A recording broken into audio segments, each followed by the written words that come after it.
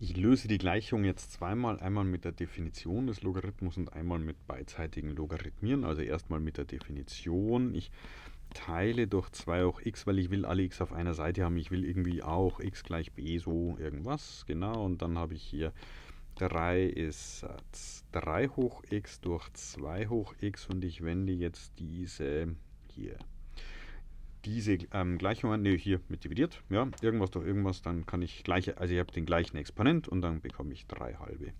3 ist gleich 3 halbe in Klammern hoch x. Nun die Definition des Logarithmus, die habe ich da unten, äh, also x ist gleich Logarithmus zur Basis 3 halbe, das ist 1,5 von 3 und wenn ich es in den Taschenrechner reingebe, habe ich ungefähr 2,7.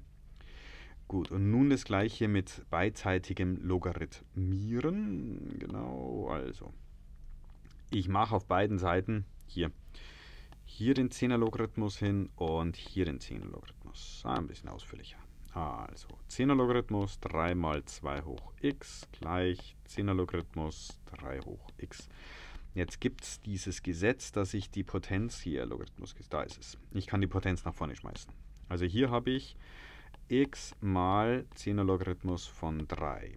Und an der Stelle kann ich die Potenz nicht nach vorne schmeißen, weil dann nervt dieser Dreier. Also das muss ich jetzt hier noch vorsichtig weg tun. So, genau. Da habe ich aber an der Stelle ein Mal, also nehme ich das Gesetz mit dem Mal, das habe ich hier aus. Mal wird Plus. So. Also 10er Log von 3 plus 10er Log von 2 hoch x. Und jetzt kann ich dieses nach vorne schmeißen machen. Ja, und 10er Log von 3 plus x mal 10er Log von 2 gleich x 10er Log von 3. Diese x müssen auf eine Seite, damit ich eine Chance habe, also minus, da mache ich es, also minus x 10er Log von 2. Ja, das, das ist so ein ganzes Ding, das muss als ganzes Ding rüber mit minus. Und dann habe ich 10er Log von 3 gleich x 10er Log 3 minus x 10er log 2. Und ich kann da ausklammern. Ja, ich habe hier ein x, hier ein x, ausklammern, also x mal Klammer auf 10er log 3 minus 10er log 2. Nachprüfen. Also x mal 10er log 3 gibt es, x mal 10er log 2 gibt es, passt, richtig ausgeklammert. 10er log von 3. Und an der Stelle, ich will x isolieren, ja, und ich habe hier so ein Mal und eine Klammer und dann muss ich halt teilen, durch die ganze Klammer teilen. Ja, also dividiert durch Klammer.